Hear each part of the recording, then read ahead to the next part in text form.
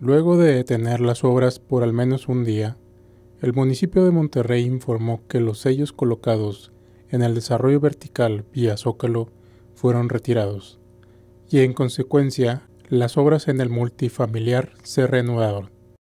El día de ayer se observaron camiones con material y maquinaria pesada, aparentemente haciendo trabajos en el terreno, ubicado en Barrio Antiguo, los cuales transcurrieron con normalidad hasta las 14 horas. El desarrollo de Vía Zócalo pretende ser un edificio de 39 pisos, que contará con departamentos, oficinas y área comercial.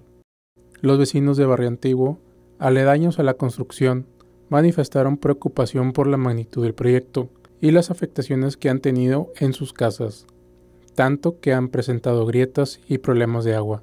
El pasado miércoles durante la tarde, la Dirección General de Control y Regulatorio y Vigilancia de la Secretaría de Ayuntamiento colocó los sellos tras detectar diferencias de construcción en comparación del plano presentado.